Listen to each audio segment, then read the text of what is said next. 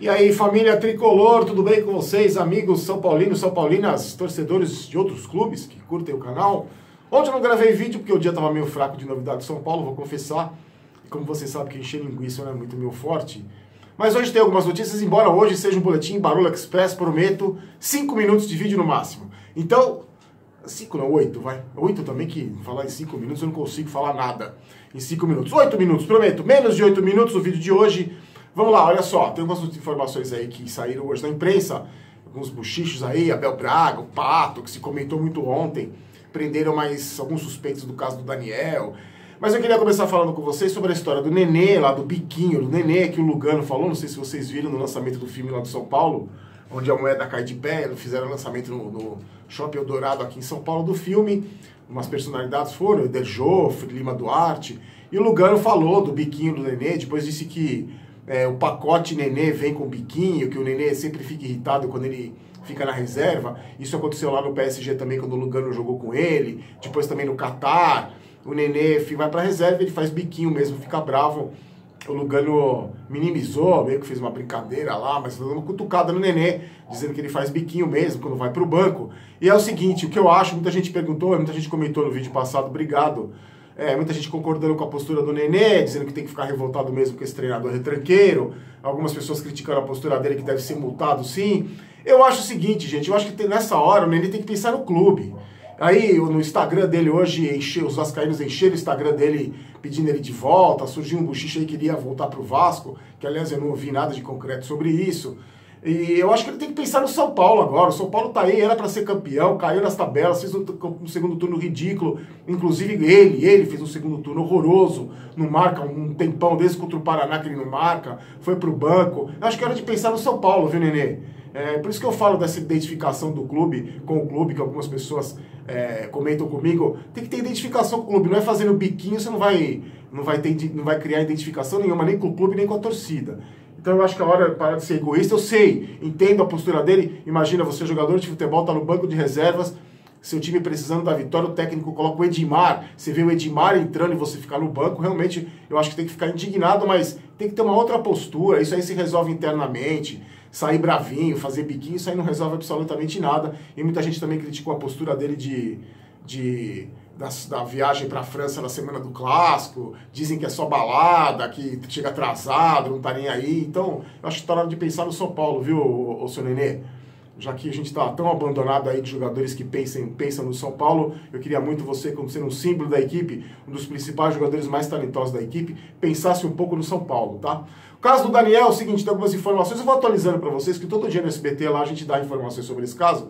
Hoje foram presos mais três, presos mais três suspeitos que estavam ali, espancaram ele, ouviram mais testemunhas, a história parece que não é bem assim. O que se sabe é que prenderam o mesmo cara, o Edson Brits, que ele confessou o crime, a mulher e a filha dele também estão presas, hoje prenderam mais três suspeitos de participação no espancamento.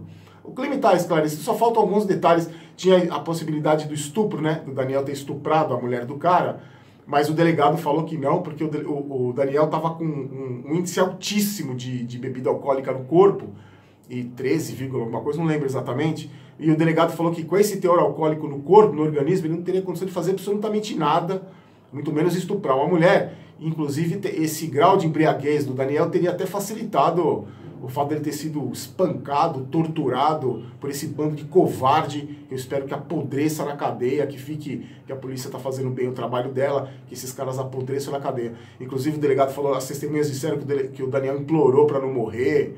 Muitas pessoas disseram que a mulher não pediu socorro coisa nenhuma, que o cara não arrombou a porta, ele entrou pela janela, que o Daniel estava deitado na cama, na cama da mulher. Isso é verdade, porque tem até as fotos que provam que o Daniel estava deitado na cama da mulher. Eu vou informando vocês hoje, mais três vagabundos foram presos. Espero que sejam condenados e apodreçam na cadeia, que vivam muitos anos apodrecendo na cadeia, tá?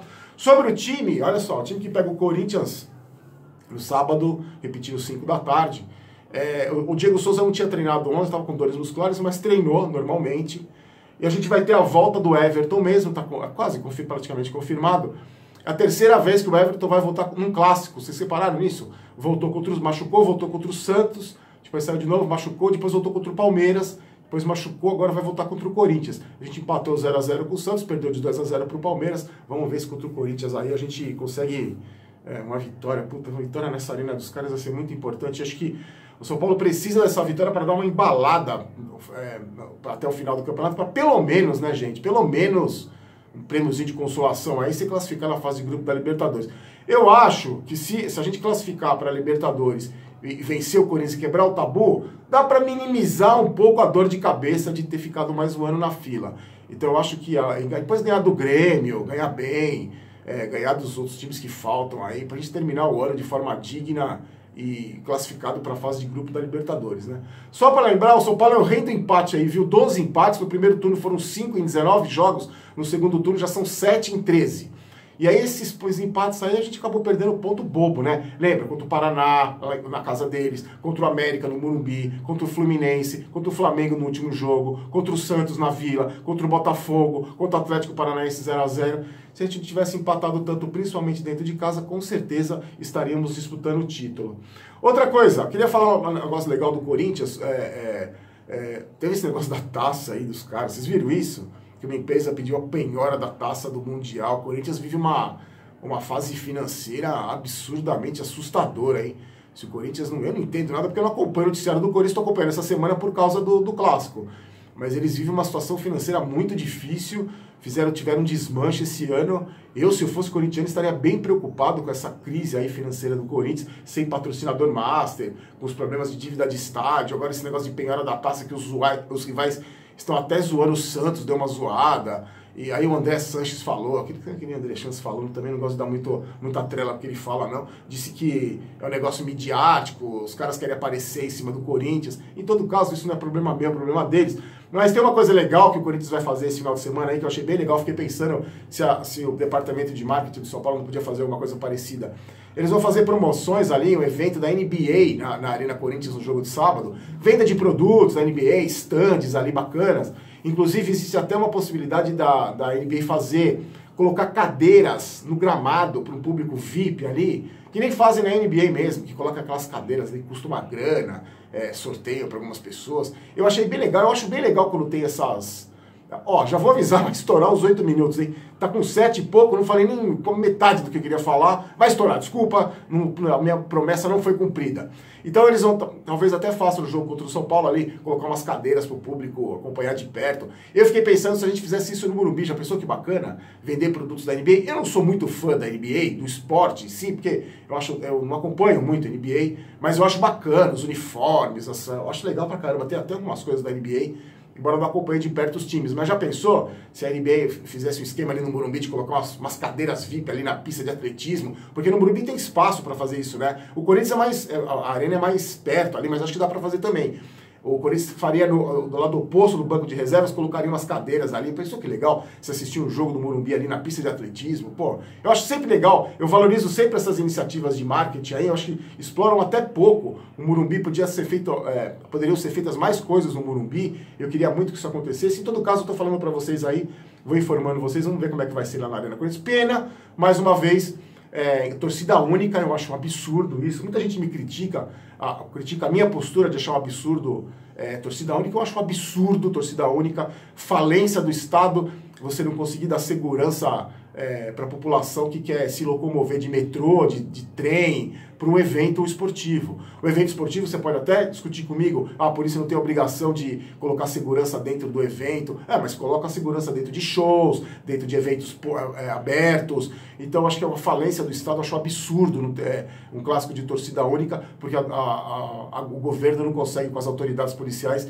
garantir a minha segurança se eu quiser ir na arena, a sua segurança se você quiser ir na Arena Corinthians. Eu acho um absurdo isso. Em todo caso, o Corinthians divulgou 34 mil ingressos vendidos, Deve ter casa cheia, né? No, clássico lá na, na, arena dele sempre enche. É, bom, eu acho lamentável, eu gostaria muito de. Eu já fui na arena, já conheço o que eu queria conhecer da, do Arena. Conhecia do Palmeiras e do Corinthians, fui assistir jogos lá, mas ganhei ingresso dos meus amigos, sócios torcedores de Palmeiras e Corinthians, porque para eu poder conhecer. Infelizmente, dessa vez, torcida única. Agora é o seguinte, gente, ó, para finalizar duas coisinhas aí. Saíram, saiu uma informação sobre o Pato. Vocês viram isso no Instagram? O Instagram do. O Hudson postou uma foto com o Trellis e o Pato comentou a foto dizendo o seguinte: ah, amigo, em breve estaremos juntos. E o Hudson respondeu: é, estou te, te, aguardando. E aí alguns torcedores do São Paulo se animaram que o Pato podia estar tá chegando aí no ano que vem. mas tem, tem. É, e outros também falaram o seguinte: é só um. O Pato disse que agora em novembro viria para o Brasil para assistir alguns jogos do São Paulo, que iria lá no Morumbi para acompanhar essa fase final do Brasileirão. Talvez tenha, tenha sido isso. O que se sabe, na verdade, de negociação com o Pato é que ele está procurando ainda um patrocinador, que ele era da Nike, saiu, podia estar tá fechando com a Adidas, que é patrocinadora do São Paulo. Eu não vi nada é, é, efetivamente sobre contratação do, do Pato, mas eu acho que seria um bom nome. Eu gostaria de ver o Pato, você prefere o Trellis, eu preferia ver o Pato voltando da, do, do, futebol chinês por ano que vem, mas certeza que o São Paulo vai se reforçar. Eu não sei se, pelo que eu estou sabendo lá no Burumbi, não tem reforços de centroavante. Eles querem jogadores de pontas, aquilo que eu já falei para vocês, jogadores de ponta, meia de ligação e laterais, que, que lateral direito a gente não tem, e lateral esquerdo só tem o Reinaldo. E do Abel Braga, muita gente me perguntou também, o Flamengo está interessado no Abel Braga, porque não, não, pretende ficar com o Dorival. O Flamengo tem um projeto, um, um projeto com o Renato Gaúcho, que já mostrou interesse em dirigir o Flamengo, e, tem, e, tá, e também está esperando o seguinte: se não der certo com, com o Renato Gaúcho, contrataria o Abel Braga, estariam adiantadas as negociações com o Abel Braga. O São Paulo também estaria conversando com o Abel Braga. Eu acho o seguinte: vai depender do Flamengo a campanha do Dorival até o final do campeonato. Dependendo do Dorival, ele faz uma grande campanha, o Flamengo é campeão, o Flamengo se ilude, vai cair no golpe do Dorival e fica com o Dorival no ano que vem, não sei. Mas, é, e o São Paulo é o seguinte, a minha opinião, eu acho que existe sim conversas soldagens com, com Abel Braga e até outros treinadores. Mas o São Paulo está fazendo o quê? O São Paulo vai esperar a, o final do Campeonato Brasileiro para ver se classificar na fase de grupos da Libertadores. Se ganhar do Corinthians, ganhar do Grêmio, faz uma campanha digna, encostando ali no Palmeiras, que para mim vai ser campeão. Faz uma campanha digna, encosta no Palmeiras, termina o ano bem, ganhando o clássico, quebrando o tabu na arena do Corinthians, vencendo o Grêmio, os outros jogam Cruzeiro. Eu acho difícil mandar o Aguirre embora. Infelizmente, acho difícil mandar o Aguirre embora. Mas agora, se não perde do sábado do Corinthians, não se classifica na fase de grupos, duvido que o Aguirre permaneça. Mesmo eu torcendo é, é, para o Aguirre não permanecer, queria ver o Cuca ou Abel no comando do São Paulo, é claro que eu não vou torcer contra, quero que o São Paulo se classifique para a fase de grupo da Libertadores. Então eu acho que é isso. Qualquer informação que eu tiver mais concreta, que as, as informações que eu tive sobre a vinda do Abel não são concretas, eu acho, a minha opinião, que está acontecendo isso mesmo, que o São Paulo está sondando o Abel para o ano que vem, dependendo da classificação do Campeonato Brasileiro. Certo, gente? Puta, eu falei 8 minutos já tem o vídeo, hein? Primeiro eu ia prometer 5. Já tá com 12. Bom, momento Maguila de hoje, gente. Muito obrigado a vocês todos. Aos poucos eu vou mandando salve. Gabriel Barbosa de Tuiutaba, Minas Gerais. Jonathan Oliveira e para Gisele Silva de Vitória, no Espírito Santo. Jefferson Almeida e para noiva Flávia de Serra Preta, na Bahia. Caramba, Serra Preta, na Bahia. Everton Carlos de Arthur Alvim, aqui na Zona Leste de São Paulo. E para o Max Barreto de Araçatuba, também no interior de São Paulo. Peço para você se inscrever no canal, lá, lá, lá, like nos vídeos. Ó, eu volto amanhã com as informações pegar umas informações do Corinthians aí, ver esse negócio da taça, como é que vai ficar, se realmente os caras vão perder a taça do Mundial, realmente um absurdo. É um negócio inacreditável. E aí eu vou contar as informações para você do time deles, aí como é que vai estar tá pro clássico. Amanhã eu volto então, tá certo, gente? Caramba, eu achei que o vídeo ia ser curto, hein? Fiquem com Deus aqui no É Vai São Paulo, que é Vamos São Paulo. Hoje o Fagner deu um tempo e depois eu vou contar com calma o caso com o Fagner, que quase deu polícia aqui na vila. Tá certo? Fiquem com Deus aqui no É Vai São Paulo, que é Vamos São Paulo. Eu não quero ter razão, quero ser campeão. A gente se vê amanhã. Tchau!